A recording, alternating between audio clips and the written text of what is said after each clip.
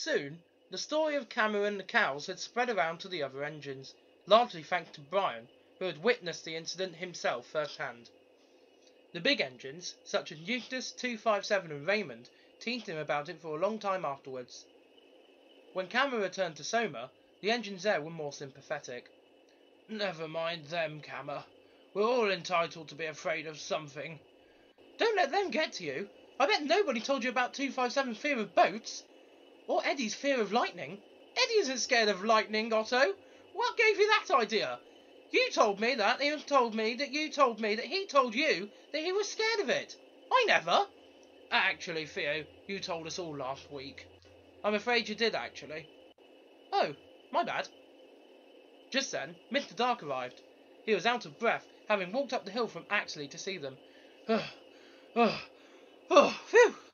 Sorry to disturb you all, but uh, oh, I'm afraid I've got some bad news. He paused, looking around at the engines.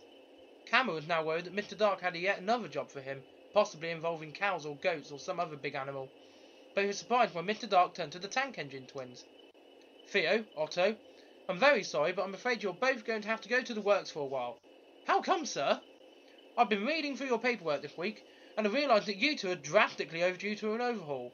When was the last time either of you had one? Um, 1949, I think, sir. Nah, 1951. Get your facts right. It was 1950, actually. But anyway, you'll both need to report to Gallon Junction tomorrow morning so you can be taken to the works. That was all I really needed to say, so I, I guess I'll take my, my leave and, uh, uh, beg pardon, sir, but will you want me to shunt Cam and train together whilst Theo and Otto are gone? Oh, heavens, no. You'll be too busy on passenger train. Then who's going to do the shunting whilst they're away? Oh, I have someone in mind for that. I'm just saying. I'm sure Alan didn't mean to. It's not the point, mate. You shouldn't go gallivanting up the line without permission. It's dangerous. Even I know not to block the main line. But Owen had noticed Mr. Dark approaching and stopped talking. Good afternoon. Afternoon, sir. Afternoon. Owen, I need you to do me a favour. Yes, sir? I know you enjoy working here with Ryan, but an emergency has arisen and I need your help. Theo and Otto are both going for overhauls tomorrow, and I need you to go and work at Soma Quarry for a while, please. Can you do that?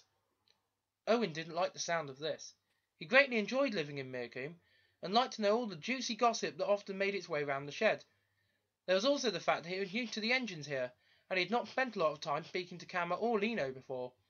However, he had to do as he was asked, even if he wasn't particularly happy about it. Yes, sir.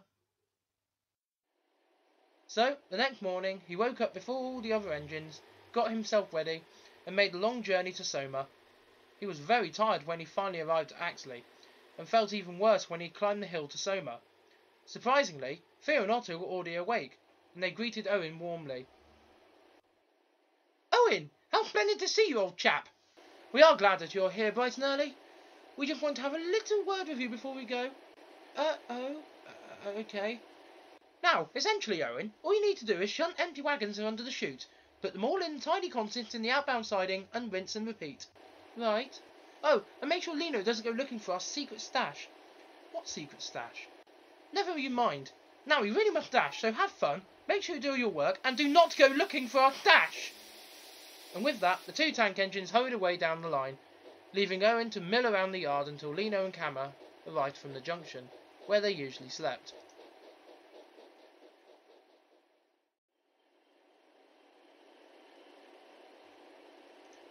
He wasn't left waiting long, for soon the two engines arrived. Ah, good morning, Owen. I trust you are well. Uh, I think so. I'm just a bit nervous. Nervous? Why? Well, I'm not very confident when shunting trucks, especially ballast trucks. Ha! Ballast trucks are easy peasy to shunt. Don't panic. They can't do anything on these level gradients. They won't be able to push you around, and if they do, they'll have me to answer to anyway. Not to worry, Owen. We shall assist you wherever possible. Here, let us show you properly. So, for the rest of the morning, Cammer and Lino taught Owen exactly what he had to do with the ballast trucks. Owen felt better by the end of the day, and, after being there for a few weeks, was much more confident about his abilities. One day, however, Owen's confidence was about to get knocked severely. He had just finished the job when the yard foreman came over. Owen, I'm afraid I'll have to ask you to stop what you're doing.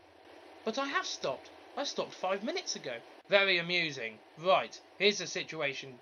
Cameron has left four milk tankers at Axley, which urgently need to come back up here, and I need you to bring them up. But, why me? I have things to do here. And anyway, why can't Cameron and Lino bring them back up? Because they're both stuck at the junction due to a points failure and derailment. So no traffic can get past the junction this morning, so I'm counting on you. yes, sir. Owen sadly made his way down to Axley.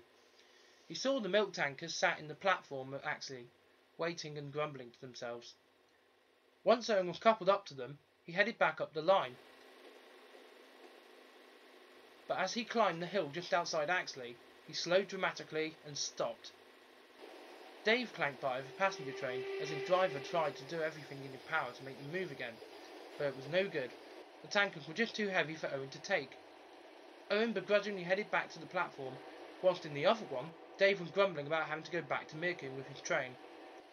What can we do? I can't get back to Soma without the tankers. The yard foreman won't be happy, and neither will Mr. Dark. I have an idea. What if we just take one at a time? One at a time? Yes, because we just don't have the power to work on those inclines. I'm sorry, Owen, I really am, but this is the only realistic way we can complete this job. Owen was upset.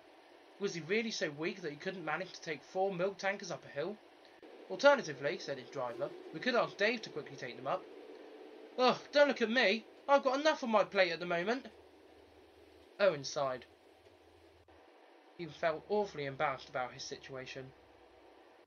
A shunter uncoupled the wagons, leaving Owen connected only to the first one. With a roar, he powered out of the station and attacked the first hill with every ounce of strength he had. Slowly but surely, he trundled back up the line with the first milk tanker. After almost half an hour of struggling, Owen arrived at Soma and quickly dropped off the tanker in a siding. He spent the rest of the morning bringing the tankers up the incline one by one. By lunchtime, he was completely exhausted and glad of a rest. Later that evening, Cameron and Lino arrived and instantly sought out Owen. Owen, we've been told all about it. I'm so sorry about those tankers. I took them down to Axley last night without thinking, and I thought it was empty, and they obviously weren't. Are you alright? Yeah. Oh, I think so. I just feel ashamed of myself.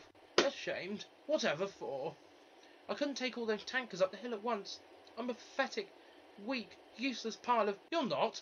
The yard foreman should have never sent you to bring them back up here. Your job's shunting, and he knows that. This didn't make Owen feel much better. Lino seemed to have realised this, and chose his words carefully. You most, uh, you most certainly are not useless, pathetic, or weak, Owen. You were asked to complete a task, and although you have to do it differently to originally envisioned, you completed it in the end, and that's all that counts.